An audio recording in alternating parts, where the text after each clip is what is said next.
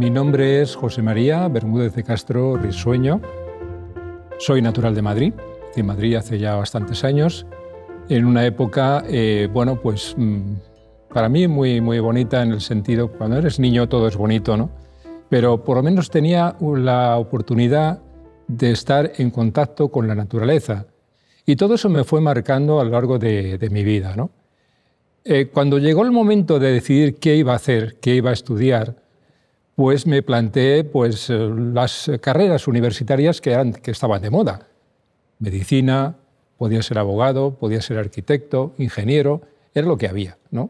Y bueno, lo pensé, lo pensé, y a mí lo que me interesaba mucho era la naturaleza y me interesaba sobre todo el ser humano.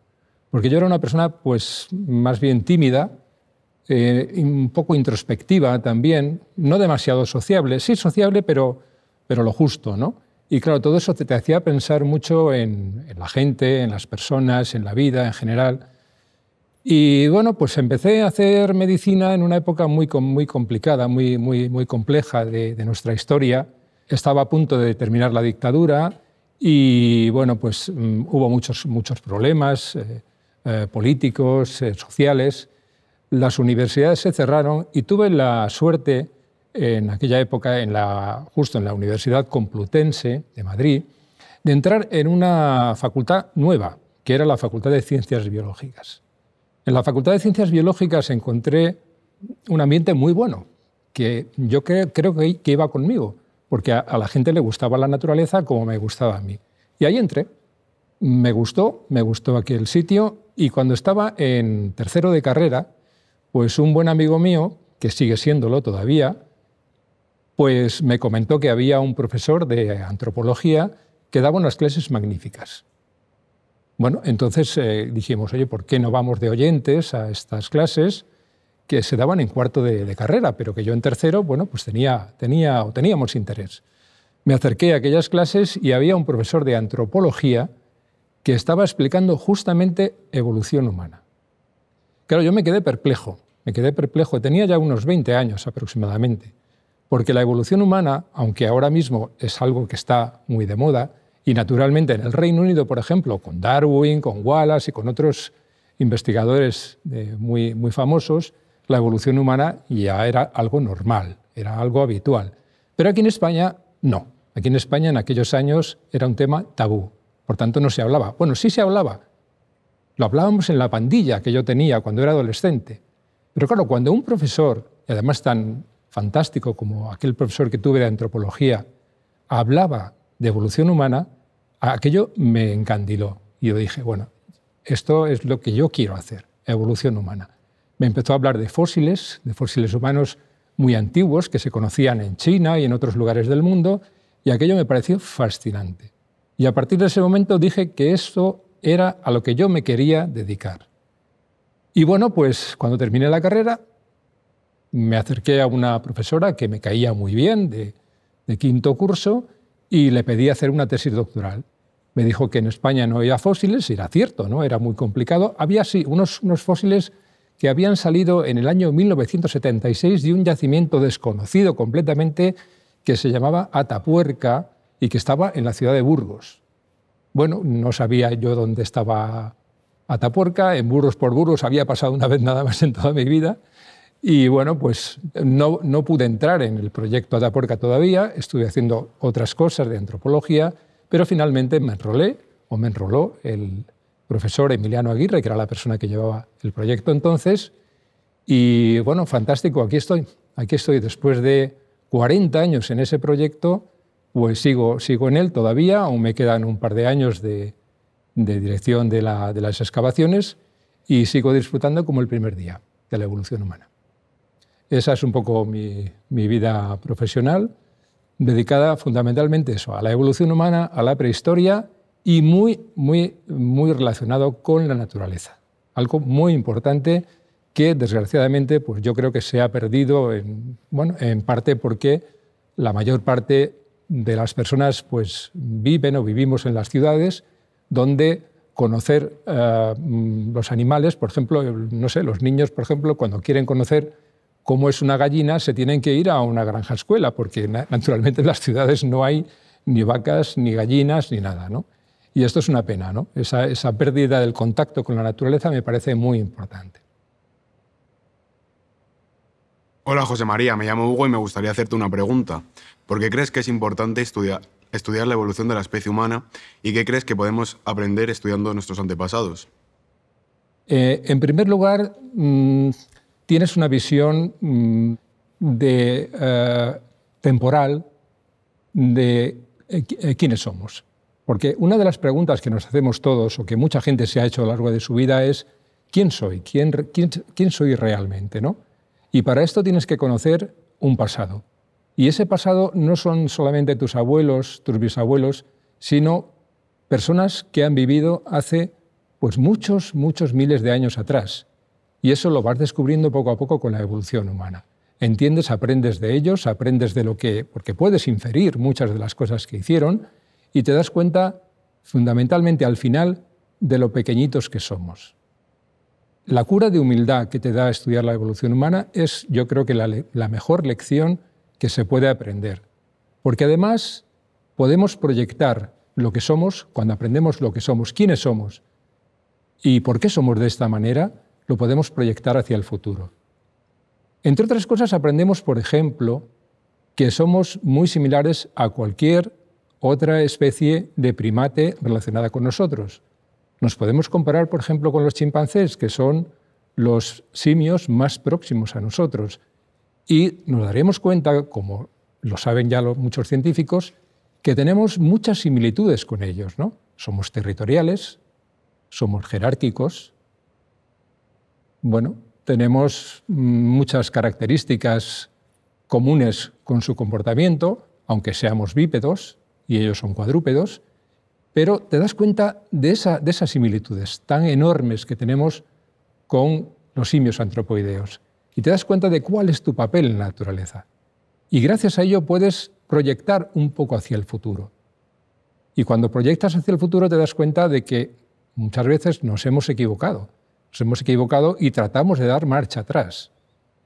Yo creo que la evolución humana sirve para eso, para ponerte en tu sitio, saber que eres una especie más de, este planeta, una especie que sí ha tenido mucho éxito evolutivo, pero también te das cuenta de que otras especies también han tenido éxito evolutivo y han desaparecido, y que por tanto has de hacer un gran esfuerzo para poder seguir adelante y que ese futuro pues, eh, sea posible. Buenas. Habiendo sido codirector de las excavaciones de Atapuerca, ¿cuál dirías que es la importancia de estas? Eh, yo creo que en España todavía no se conoce suficientemente bien este lugar. ¿no? Y la razón es muy sencilla, y es que España no es, una, no es un país en el que le hayamos dedicado mucho esfuerzo, tanto de tiempo como económico, a la ciencia. Mm, lo nuestro no es la ciencia, la ciencia pues fundamentalmente pues la han hecho pues europeos del norte, también franceses, británicos, rusos, alemanes, estadounidenses, por supuesto, ¿no? Y en cambio aquí en España pues tenemos otros, otros intereses, ¿no? No hay una inversión en ciencia suficiente ni hay una, en fin, un interés eh, suficiente ¿no? para, por la ciencia. Y entonces, claro, cuando se habla de Atapuerca, pues eh, sí, eh, hay mucha gente que ya conoce ese nombre, ya, ya, ya, le suena, pero si no lo has visitado, si no has entendido, si no has leído libros acerca de esto, si no conoces la evolución humana, es muy difícil valorar esto. ¿no? Mira, en otro, en otro país, yo no sé, por ejemplo, podría poner el Reino Unido, ¿no? donde se conoce la evolución humana, como decía antes, desde hace pues, mucho tiempo. Darwin mm, escribe El origen del hombre en 1871, pero ya en 1859, junto con Wallace, con otro, otro autor, escriben también sobre evolución. Es decir, hace muchísimo tiempo que ya se conoce en, en este país la evolución eh, y la evolución humana en particular. ¿no? Si este yacimiento estuviera en el Reino Unido, estaría en la bandera de este país, porque es un yacimiento de bandera un yacimiento que ya les gustaría a muchos países tenerlo. Y nosotros, afortunadamente, lo tenemos. Toda la historia de la evolución humana del continente europeo está en Atapuerca, en muchos yacimientos que están juntos, que están mm, separados por unos pocos cientos de metros, están todos juntos, y todos ellos en conjunto te cuentan la historia de la evolución humana de todas las especies, todas las especies que han pasado por Europa desde hace un millón y medio de años, te repito la cifra, un millón y medio de años hasta la actualidad. De hecho, se encuentran incluso utillaje de la época de los romanos en algunos yacimientos. Pero por supuesto encontramos herramientas que fabricaron nuestros ancestros hace un millón y medio de años, que son muchísimas generaciones. Claro, esto, si lo dices, bueno, ¿y esto en el mundo cuántos yacimientos puede haber con ese interés, con esa importancia? Pues yo diría que como media docena. Y la mayor parte están en África y este de Europa yo creo que es el más importante que hay en Europa en este momento, pero no, no, no porque lo diga yo, sino porque lo dicen nuestros colegas, que tienen muchísimo interés en venir a, a trabajar en Atapuerca, en colaborar con nosotros. Incluso durante años pues trataron de eh, estar aquí trabajando como investigadores, pero afortunadamente pues, se han ido desarrollando las, las profesiones relacionadas con la evolución humana y la prehistoria y nuestros mm, españoles pues, trabajan allí y ahora mismo es un proyecto que es internacional, pero que fundamentalmente está formado por españoles. Hola, José María. Eh, he leído mucho sobre Atapuerca y sobre todos los hallazgos que habéis tenido allí, los datos muy significativos que habéis aportado a la historia de la evolución. Pero yo quería preguntarte en concreto, en tu opinión, cuáles han sido los más importantes hallazgos que habéis tenido en vuestro estudio de Atapuerca. Bien, es una buena pregunta porque, claro, en Atapuerca todas las, todos los veranos, todas las campañas de excavación hay hallazgos que son de gran interés, muchos. Pues se pueden recuperar varios cientos, incluso miles de piezas de eh, bueno, fósiles, industria lítica, incluso utillaje, como decía antes, de, los romanos o de otras poblaciones anteriores a ellos. ¿no? Pero cada cierto tiempo ocurre un descubrimiento, un hallazgo que cambia el panorama general, el escenario de la evolución humana. Por ejemplo, en 1992 se eh, em, encontraron cráneos completos en el yacimiento de la cima de los huesos de la Sierra de Atapuerca. Este es el, este es el primer yacimiento que mm, le dio un poco de aire a Atapuerca, ¿no? porque se encontraron algunos restos humanos dentro de un yacimiento que estaba muy, eh, bueno, había sido ya expoliado ¿no? por personas que no conocían la arqueología pero bueno, por fin ese año se pudo llegar a la parte intacta del yacimiento, que ha resultado ser extraordinaria, y se encontraron los primeros cráneos. Aquello fue una gran revolución porque empezó a poner Atapuerca en el contexto internacional. Y bueno, fue fantástico. Aquellos cráneos se publicaron en la revista Nature y fue ya el comienzo, el inicio de Atapuerca. Pero es que en 1994 aparecen fósiles humanos en el yacimiento de la Grandolina, de la cueva de la Grandolina, que eh, ya sabíamos que tenían 800.000 años de antigüedad. Claro, esto era increíble, ¿no? Porque la idea que se eh, tenía entonces es que Europa había sido colonizada hace como mucho medio millón de años. Y claro, nosotros estábamos retrasando ese inicio de la colonización europea 300.000 años nada más y nada menos. Con lo cual aquello bueno, fue una, una pequeña revolución. Muchos investigadores no creían en nosotros pero por una razón muy sencilla, y es que la, ciencia española, como decía antes, pues no estaba bien valorada. Estaba bien valorada porque decían, bueno, los españoles no hacen mucha ciencia, ¿no? Esto lo tendremos que comprobar. Nosotros, los, que venimos de fuera, los de otros países, tendremos que comprobar que esto es así, ¿no? Bueno, no hizo falta porque afortunadamente pues, las cosas estaban muy claras, es un yacimiento muy claro, y esos fósiles encontrados en 1994 terminaron por convertirse en 1997 en una especie más de nuestra filogenia humana. Homo antecesor, Homo antequesor en latín, que significa el hombre explorador, el pionero. El nombre se puso porque, eh, bueno, era cierto, eran los primeros europeos, los más antiguos, y, eh, aludía a que las, huestes romanas, los, los ejércitos romanos, cuando iban a conquistar otros países, desde desde la península itálica, pues enviaban a los antequesor, una serie de soldados que eran los exploradores que miraran a ver eh, cuáles eran las fuerzas del enemigo. ¿no? Esto también fue otro hito, yo creo que muy importante, ¿no? porque de pronto pues, tener una especie nueva de, la filogenia humana no es tan sencillo, no, no es tan fácil eh, hacer crecer a la, filogenia humana, ¿no? a la, sobre todo del género Homo. ¿no? Después hubo otro hito importante que fue el hallazgo en el yacimiento de la cima de los huesos, donde habían aparecido esos tres cráneos.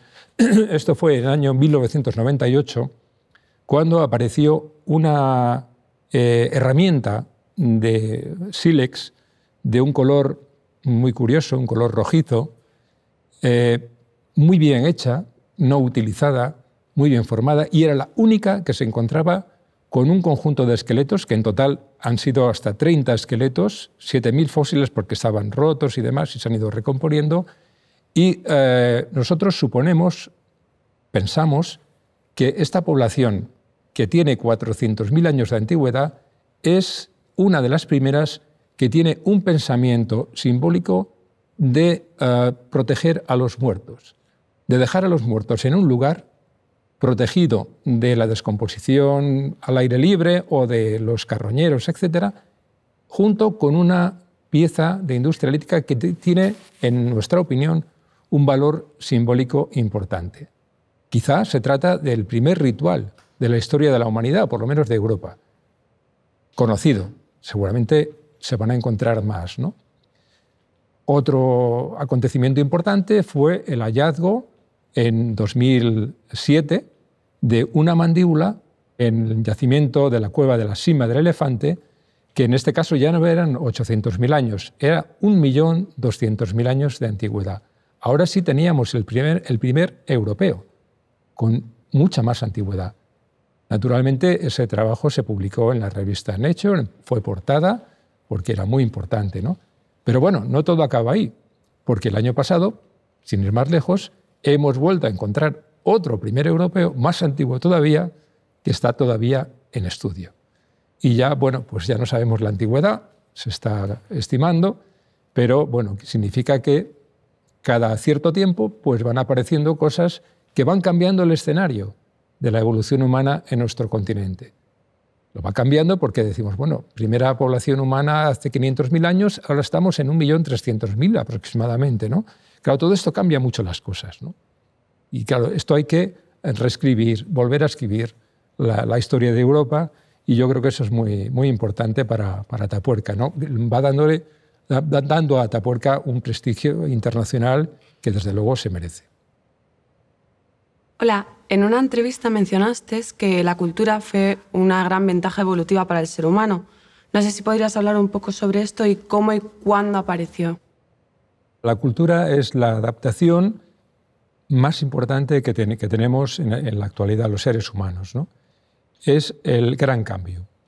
Ese gran cambio ocurre hace unos tres millones de años, cuando los seres humanos, si quieres humanos entre cursivas, porque la palabra humano la hemos definido nosotros para nosotros mismos, pero bueno, a mí me gusta hablar de humanos incluso con poblaciones de hace tres millones de años, porque queda muy bien. Bueno, pues aquellos humanos de hace tres millones de años fueron los primeros que transformaron la materia prima. Hacer herramientas supone transformar.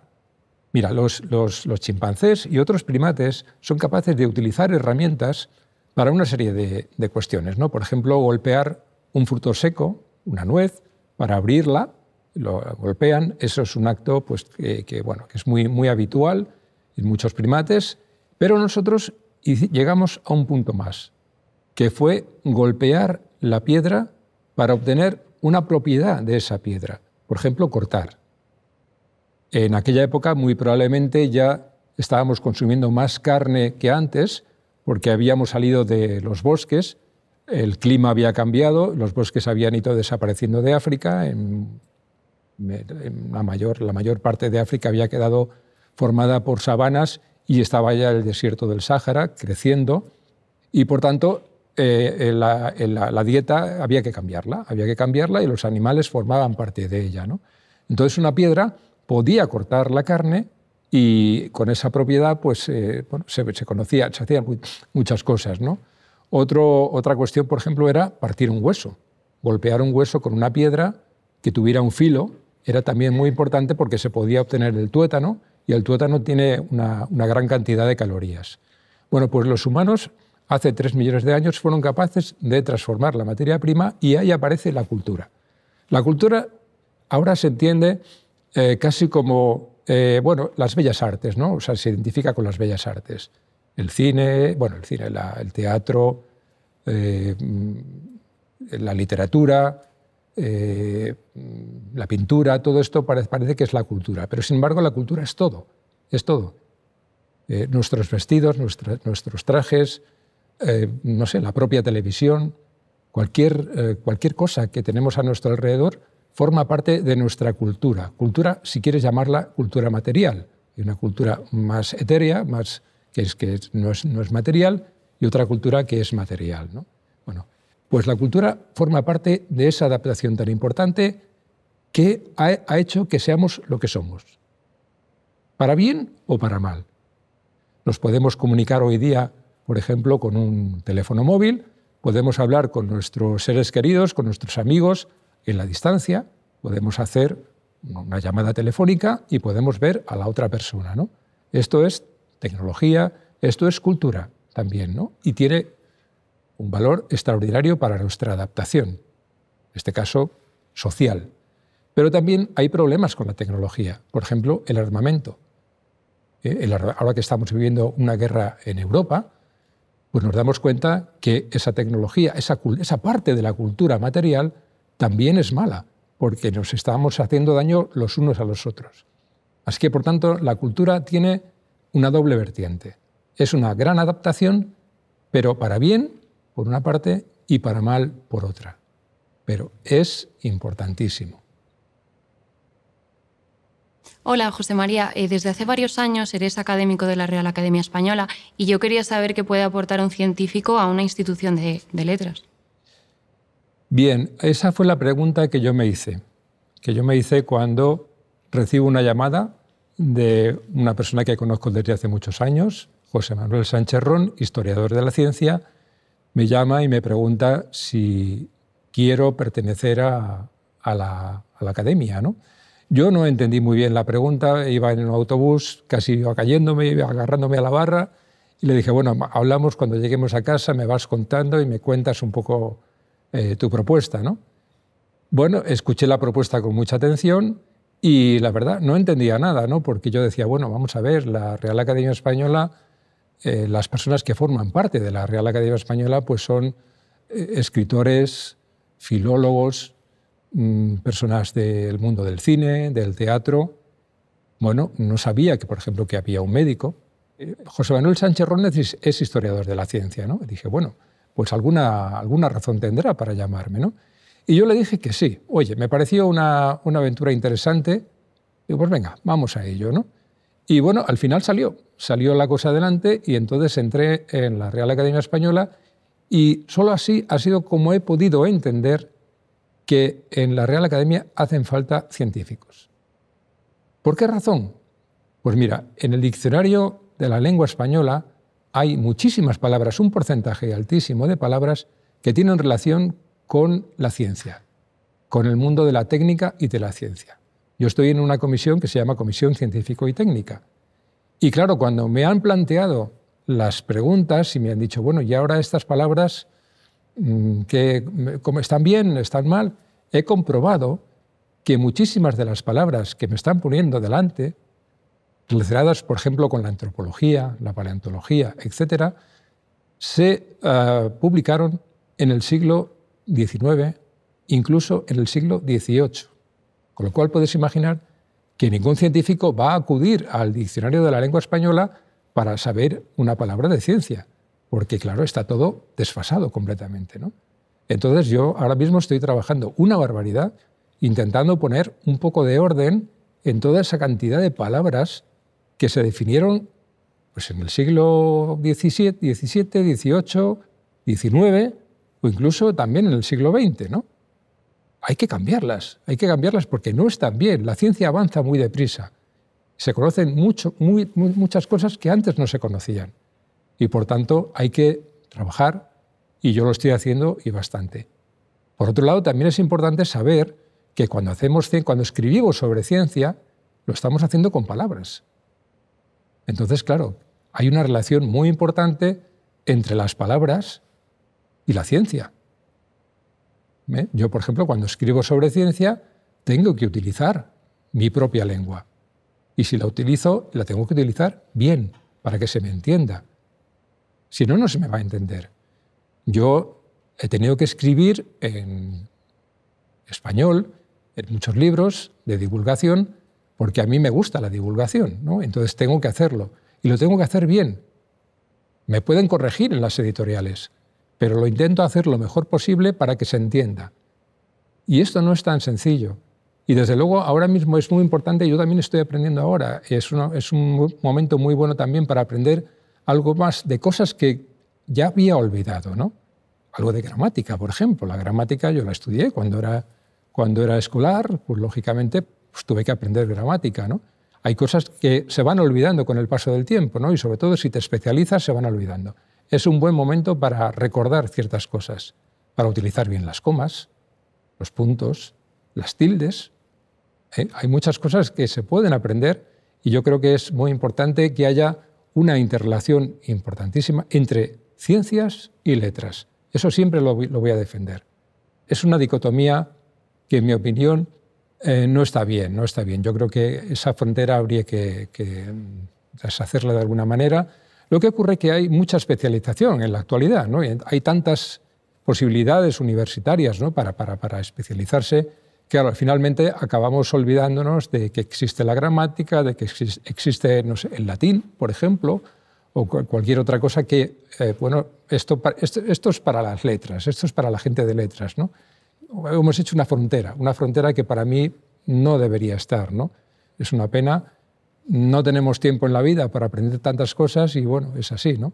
Pero bueno, no sé si te queda claro que en la, que en la Real Academia Española debe haber no un científico o dos, debe haber más. Y ahora mismo, claro, hay un médico, hay una persona de la historia de la ciencia y estoy yo y no hay más. Y antes eh, que yo, pues hubo una, persona, Margarita Salas, bioquímica, que también te planteabas, bueno, ¿qué hace esta persona aquí en la Real Academia Española? Pues seguramente hizo una labor también muy importante. Hola, José María. Me llamo Patricia y quería preguntarte, eh, tú eh, como investigador, como divulgador de la ciencia, a través de tus eh, libros, de tus artículos, como director de instituciones, ¿qué importancia le das a acercar la ciencia a la sociedad? Gracias. Es una pregunta interesantísima, ¿no? Mira, esta pregunta nos la, planteamos eh, nada menos que en 1991 cuando mis compañeros, Eudal Carbonell, Juan Luis Arzuaga y yo mismo, accedimos a la codirección del proyecto Tapuerca.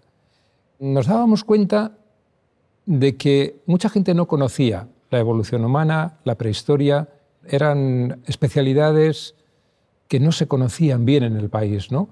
y sobre todo en nuestro entorno. Yo recuerdo esto, ¿no? que nos, nos preguntaban, bueno, es que estos chicos y chicas que vienen aquí con pantalón corto, eh, mm, con sombreros y demás para el sol y demás y tal, con este aspecto eh, tan raro y tan extraño, seguro que lo que buscan es oro. Así, así de claro, ¿no? Y claro, nosotros decíamos, no, no, nosotros somos científicos, ¿cómo científicos? Para la gente de alrededor, de los pueblos alrededor, no entendían absolutamente nada de lo que hacíamos. Y fue cuando empezamos con un proyecto de divulgación para dar a conocer a la gente de los alrededores y de la ciudad de Burgos qué hacíamos allí. ¿eh? Porque éramos personajes muy raros, muy extraños ¿no? para ellos. ¿no? Entonces, claro, no éramos, no éramos agricultores, no éramos ganaderos, no éramos nada de nada que, de lo que conocían ellos. ¿no? Les explicamos lo que estábamos haciendo. Y nos íbamos a los pueblos, de pueblo en pueblo, explicando. Hablábamos con los alcaldes de las pequeñas localidades y, empezamos una, una, labor de divulgación. Así, así como, fue como empezó todo. ¿no? Después hicimos jornadas de puertas abiertas para que las personas que había en los alrededores, Burgos y otros pueblecitos que había alrededor, pudieran visitarnos, pudieran conocer lo que hacíamos. Así llegó el tercer año de puertas abiertas que nos superó, porque llegaron 3.000 personas y nuestro equipo, pues, lo hacíamos todos nosotros, fuimos incapaces de, hacerlo, ¿no? de, conseguir que esa, esa jornada pues, llegara a buen puerto, ¿no? porque al final era un caos, era, era tremendo, ¿no? los coches no cabían por allí, bueno, era, era muy complicado. Y entonces, bueno, pues lo que empezamos es a, eh, escribir artículos, hacer entrevistas y poco a poco nos animamos ya con las publicaciones un poco más serias, ya en libros, y al final pues hemos hecho un programa de divulgación del conocimiento porque entendemos que es muy importante que la sociedad conozca lo que hacemos las, personas que nos dedicamos a la ciencia. Nosotros eh, eh, creamos cada especialidad una serie de palabras que no están en el diccionario de la lengua española, por supuesto, ¿no? que no se entienden, son palabras técnicas. Es como una especie de código. ¿no? Tenemos palabras extrañas, complicadas, que, con las que sí nos entendemos perfectamente entre nosotros. Pero claro, todo esto no se lo podemos decir a la gente porque cada uno tiene su propia profesión. Por tanto, lo que hay que hacer es una traducción de nuestra, nuestra lengua, nuestro lenguaje científico, a un lenguaje asequible para todo el mundo, para que todo el mundo pueda comprender qué es lo que hacemos. Y esto lo consideramos casi, casi una obligación, porque ¿quién está pagando la investigación en España? Pues la estamos pagando entre todos, con nuestros impuestos. Pues de la misma manera, por ejemplo, que podemos disfrutar de utilizar un transporte público que está pagado con el dinero de todos los contribuyentes, la ciencia también la pagan los, contribuyentes. Y por tanto nosotros pensamos que todo el mundo tiene que tener esa información para que todo el mundo lo comprenda, lo entienda y cuando haga una visita salga de allí con un, beneficio, un beneficio en este caso espiritual, si quieres, ¿no? Porque, claro, naturalmente luego está la tecnología, están las aplicaciones tecnológicas, ¿no? La ciencia, mm, cuando vemos una aplicación tecnológica, pensamos que es una cosa, eh, no, sé, alguien se lo ha inventado y demás.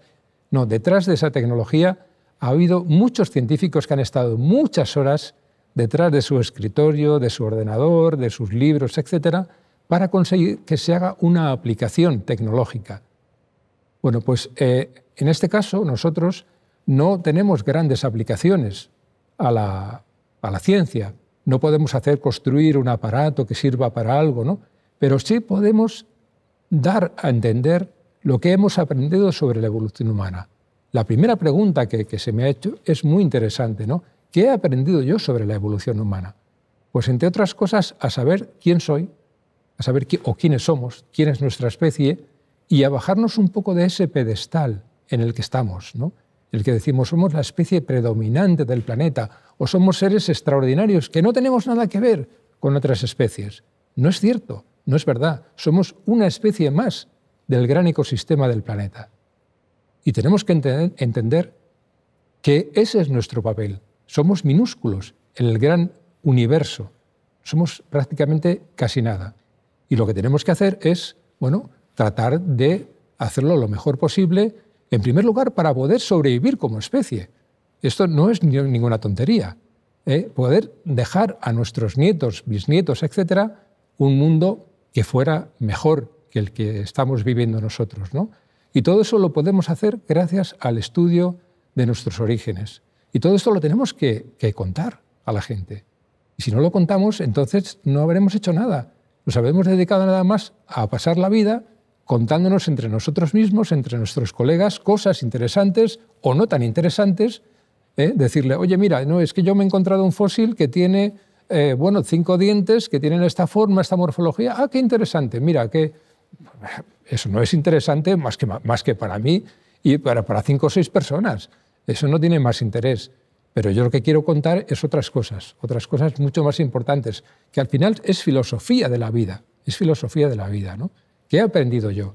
Después de 40 años investigando, eh, he llegado a muchas conclusiones vitales para mí que quiero transmitir, que quiero que todo el mundo comprenda.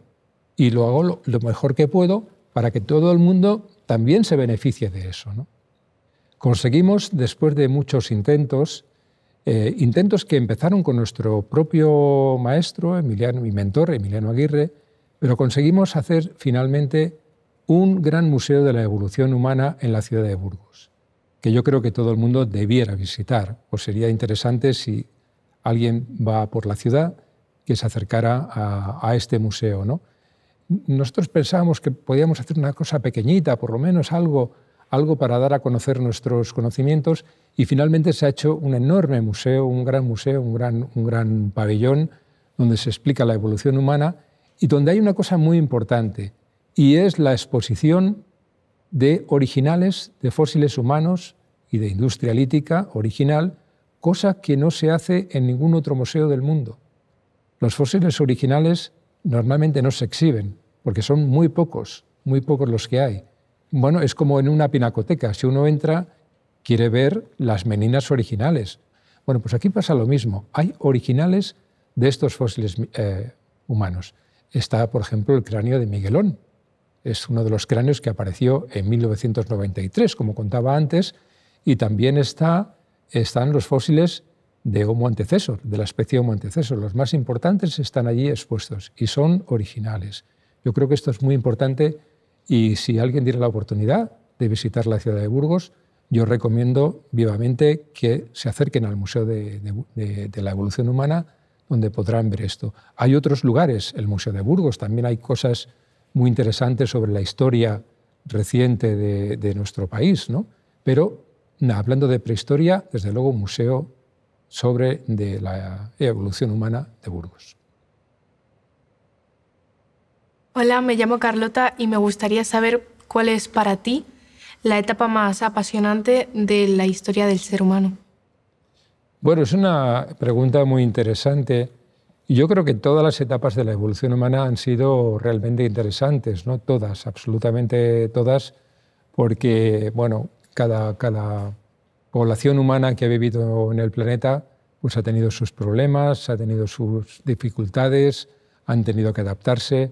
Algunas han ido desapareciendo, lógicamente, con el paso del tiempo, Ahora solamente quedamos nosotros, por cierto, ¿no? Es la, única especie que queda de nuestro grupo evolutivo somos nosotros, ¿no? Eh, yo te diría, por decirte un momento muy importante de nuestra evolución, ha sido la aparición de lo que yo llamo la modernidad, la, evolución de la modernidad. Mm, ha habido una especie del género Homo que ha tenido muchísimo éxito evolutivo, y que muchos científicos la eh, consideran que ha vivido por todo eh, África y Eurasia durante muchísimo tiempo. Es la especie Homo erectus. Especie Homo erectus, algunos no están de acuerdo, algunos científicos no están de acuerdo, no estamos de acuerdo, la dividimos en dos especies por lo menos, ¿no? pero esta especie es la que ha tenido un grandísimo éxito evolutivo, al menos durante pues, más de un millón de años. Una barbaridad. O sea, prácticamente empezó hace dos millones de años y termina eh, su vida como especie hace unos, no sé, 100.000 años o menos, ¿no? Por tanto, son dos millones de años de evolución de esta especie. Es una especie con un gran éxito en el planeta, ¿no? Bueno, pues en un momento determinado y en un lugar que, yo mm, me gusta identificar con la zona de unión entre el continente africano y el continente eurasiático, Naturalmente ellos no sabían nada de geografía y por tanto donde estaban no, no, tenían ni idea, no tenían mapas ni tenían planos ¿no? para ser dónde estaban. ¿no?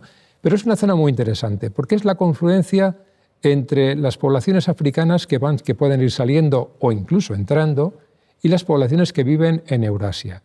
Y esa confluencia es importante tanto desde el punto de vista cultural, porque las culturas que eh, se unen o confluyen enriquecen mucho más la cultura y como desde el punto de vista biológico. El hecho del mestizaje, por ejemplo, enriquecen mucho la variabilidad biológica genética de una población. Y en ese momento, cuando ocurre esto, y en una época que yo considero que fue hace aproximadamente un millón de años, se produce una escisión de una población de Homo erectus hacia una, hacia una población que va hacia la modernidad, hacia nosotros, por decirlo de alguna manera, ¿no? De esa especie, o de esa especie que no conocemos, que no, se, bueno, se habrán encontrado fósiles, pero no se ha identificado todavía, que muchos le llaman la especie X, por decirlo de alguna manera, pues surgen Homo antecesor, la especie que encontramos en, la Sierra de Atapuerca, surgen los neandertales, surgen los denisovanos, un grupo que se ha descubierto hace poco gracias a la genética, pero que todavía no se ha identificado como especie, y surgimos nosotros. Eh, es, una especie de, mm, como de grupo moderno que sale, que, sale hacia adelante y que de, eh, que de, él hemos salido nosotros. Así que ese, me parece un momento apasionante de la evolución humana para estudiarla.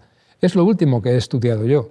Eh, prácticamente cuando haya terminado mis estudios de evolución humana, ya me voy a retirar, pues es lo que he dejado pendiente como hipótesis de trabajo para las generaciones que vengan a continuación.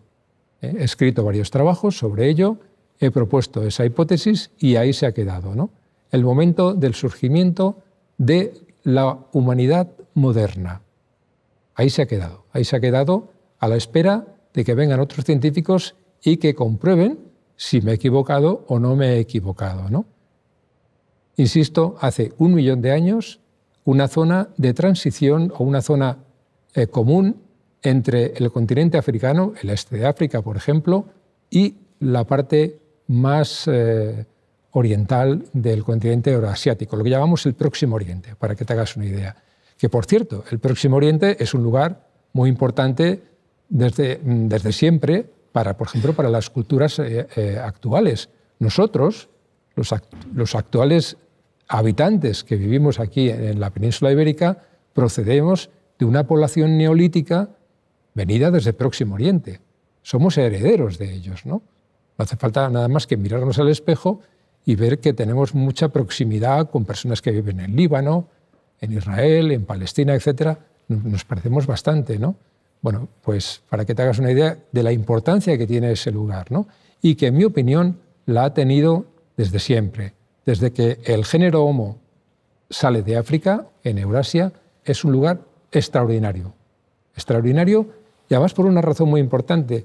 Tú sabes que ha habido glaciaciones en, el planeta desde hace varios, bastantes miles de años, y esas glaciaciones han afectado mucho al hemisferio norte.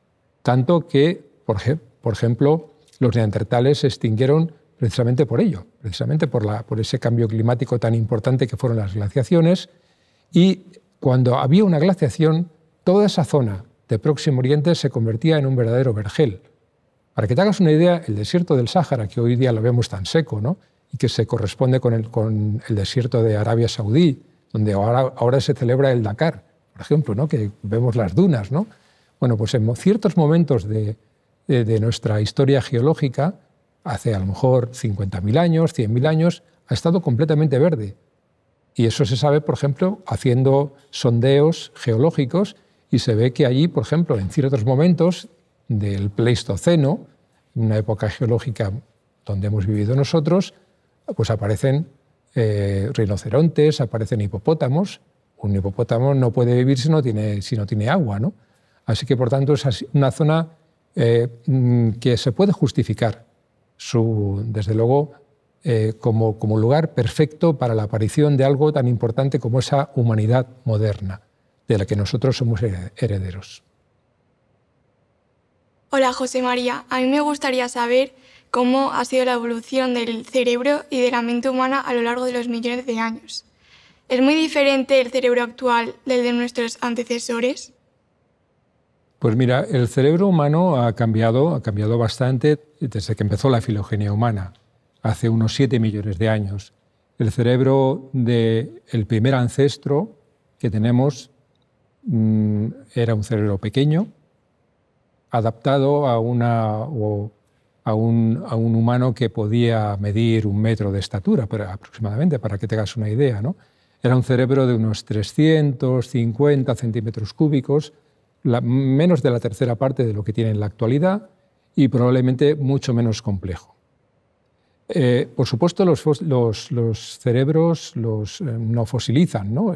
son partes blandas, son órganos blandos y por tanto desaparecen. Y lo único que podemos hacer es reconstruir la forma que tenía ese, ese cerebro gracias a que, si, que si se conserva el cráneo, se puede hacer un molde. Antes se hacían de escayola, se hacían de, bueno, luego se hicieron de, de materias plásticas y de otros de otras, eh, mm, materiales pues, bueno, diferentes y, y, mucho más modernos, y ahora se hacen eh, de manera digital. ¿Eh? ahora coges un cráneo, lo pones dentro de una, de una tomografía, le haces una tomografía, haces una tomografía y entonces obtienes una, una imagen tridimensional de la forma del, cerebro. Con esto se puede ver la forma, pero claro, lógicamente no podemos saber nada del funcionamiento de ese cerebro. Pero sí que podemos saber algo sobre el del cerebro gracias a el registro arqueológico, a los elementos culturales, materiales que nos han dejado nuestros ancestros. Y de esa manera podemos saber la complejidad que podían llegar a desarrollar. Eh, bueno, en la actualidad nuestro cerebro en promedio son unos 1.400 centímetros cúbicos y desde luego tenemos mucha más complejidad que la que tenían nuestros ancestros. Esta ha sido la evolución, hacia un mayor tamaño y hacia una mayor complejidad. Por ejemplo, mira, si comparamos, por ejemplo, el cerebro de un, chimpancé, sabemos que la formación completa de este cerebro, que mm, se obtiene gracias a que las, mm, eh, los, los cilindroejes, que son las fibras largas de las neuronas, se van protegiendo por una sustancia que se llama la mielina, que hace que no solamente quede protegido ese cilindro eje, ese eje largo de las neuronas que conectan unas con las otras, sino que además hacen que la velocidad de transmisión de la información sea 100 veces mayor que si no tienes esa sustancia. Bueno, pues mira, los chimpancés hacia los 15 años ya han terminado ese proceso de mielinización, de formación de mielina de todo el sistema nervioso. Nosotros tardamos unos 15 años más, de manera que el cerebro humano tu cerebro o el mío, están perfectamente ya preparados para todo hacia los 30 años. Tú fíjate lo que tardamos en desarrollarnos.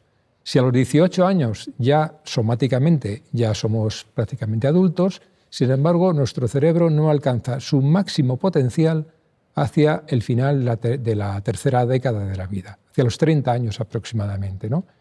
Por tanto, mm, lo que podemos inferir es mayor tamaño, mayor complejidad.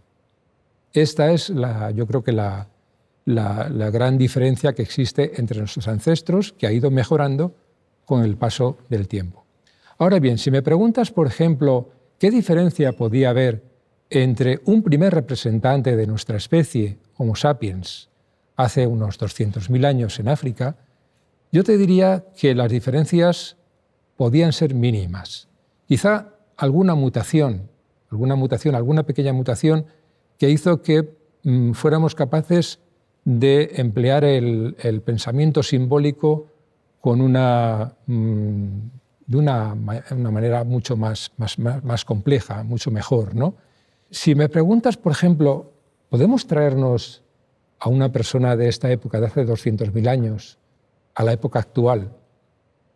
Hacemos que nazca en una familia acomodada que permita que esa persona, ese, hijo que van a tener, pueda ir a la universidad, yo te diría que sí, que esa persona de hace 200.000 años seguramente podría ir a la universidad si recibe las enseñanzas normales que podemos recibir nosotros en la actualidad. Quiere decir que ese cerebro ya estaba preparado. Cuando Homo sapiens, cuando nuestra especie aparece en el planeta, ya tenemos un cerebro que es prácticamente como el actual, salvo pequeños detalles, pequeños matices, muy pequeños, realmente muy pequeños. Hola José María, me llamo Lucía y me gustaría preguntarte sobre si crees que la evolución humana ha llegado a nuestro fin y también sobre qué piensas sobre la situación actual del ser humano. Mira, la, la, evolución continúa en la actualidad, por supuesto, no se ha detenido. Yo creo que nos mm, pensamos siempre que la evolución ha terminado porque nos vemos siempre igual, ¿no? Pero, pero es una cuestión simplemente eh, del hecho de que, claro, cuando mm, tenemos una, una, visión de la vida pues muy corta, ¿no? Vivimos nada más que 100 años y entonces, pues en 100 años prácticamente no, no, no hay cambios, ¿no? Hay cambios culturales, pero no hay cambios biológicos. Y te da esa falsa impresión de que nuestra evolución ha terminado. Antes comentaba que si trajéramos a una persona de hace unos 200.000 años a la actualidad y le diéramos una educación adecuada, pues muy probablemente esa persona podría llegar a ser una persona universitaria. ¿no? Quiere decir que la evolución biológica es muy lenta, es muy lenta. ¿no? Y esa lentitud nos da la falsa impresión de que no cambiamos. Pero no es verdad, seguimos cambiando, seguimos, vamos a seguir cambiando.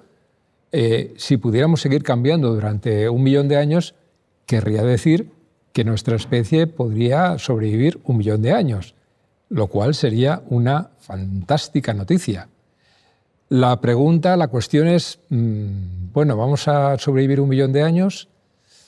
Ay, este es un problema que ya... Mm, hay veces que me levanto por la, por la mañana y soy optimista y otras veces que me levanto por la mañana y no lo soy tanto, ¿no?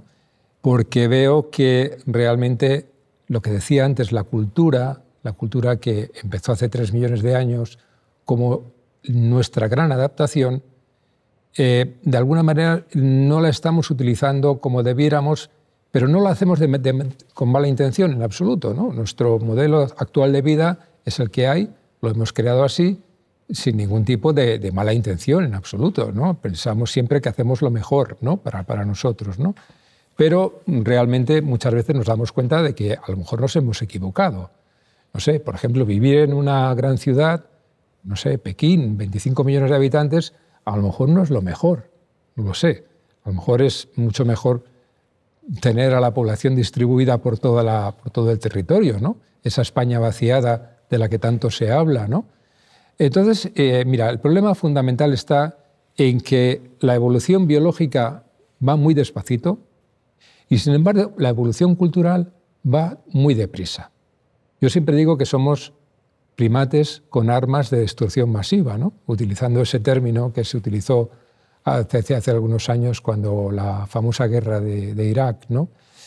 Y es cierto, y es cierto, seguimos siendo primates, seguimos siendo, pertenecemos al grupo de los primates, tenemos una biología pues, que es bueno, pues compleja, tenemos un cerebro muy complejo, pero nos parecemos, también lo he comentado, mucho a los chimpancés en nuestras acciones, en nuestro comportamiento. Eh, insisto, la jerarquía, el territorio, eh, bueno, pues eh, otros muchos comportamientos que son muy similares entre ellos y nosotros, ¿no? Entonces, claro, a mí me da, a mí me da un poco de miedo que ese, ese avance de la cultura se nos vaya de las manos. Y ya no me estoy refiriendo solo a, bombas atómicas, ¿no? que están ahí, las, las, tenemos ahí y en cualquier momento pues puede, surgir una guerra atómica y bueno, se acabó ya. Entonces ya, que ya no, queda, no, no, no quedaría nada de nosotros, ¿no? Pero eliminando esa, ese peligro tan, tan real que existe, ¿no? Eh, yo me pregunto sobre lo que estamos haciendo en el planeta, ¿no? Ese cambio climático que hemos forzado sin querer, porque, insisto, no hacemos las cosas queriendo. Nadie quiere que haya un cambio climático en el planeta y que desaparezcan muchas especies y que de pronto tengamos aquí en la península ibérica sequías y grandes inundaciones. Naturalmente nadie quiere eso, ¿no? Lo que ocurre es que nuestro, nuestro modo de vida es de una manera y no lo podemos cambiar de un día para otro. Es prácticamente imposible. Yo me he desplazado desde otra ciudad a esta ciudad y he tenido que utilizar un transporte público que obviamente ha contaminado. Sea, yo formo parte también de ese, de ese modo de vida, de ese modelo que contamina. No lo sé, yo me gustaría que bueno, las generaciones que venís ahora, que llegáis ahora, eh, tengáis conciencia de todo esto y que pongáis remedio, o el, mejor remedio que podáis, ¿no? sabiendo que esto es muy complicado, que es muy complicado. Y me gustaría, no sé, que hubiera personas muy brillantes, inteligentes, que nos dieran alguna solución. No lo sé si, si serían capaces, pero, pero la única manera de hacerlo es que esas personas pudieran unir sus esfuerzos mentales para dar soluciones. Alguien que piense, grupos de personas que piensen qué se debe hacer en, el futuro para conseguir que eh, la humanidad pueda tener una duración mucho mayor de lo que mm, todos pensamos que realmente puede tener. Si podemos conseguir un millón de años de vida, sería fantástico para nuestra especie.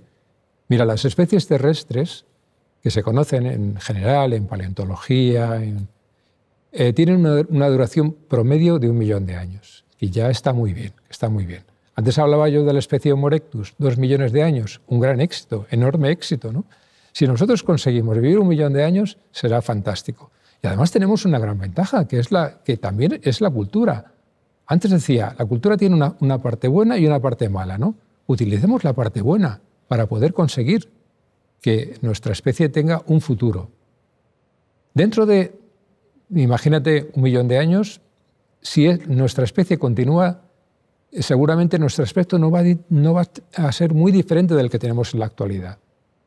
A mí siempre me han preguntado, mira, es una cosa muy divertida, ¿no? Me han preguntado, me decían hace algunos años, bueno, claro, dentro de un tiempo tendremos un cráneo, una cabeza así de grande, ¿no? Con un cerebro enorme, ¿no?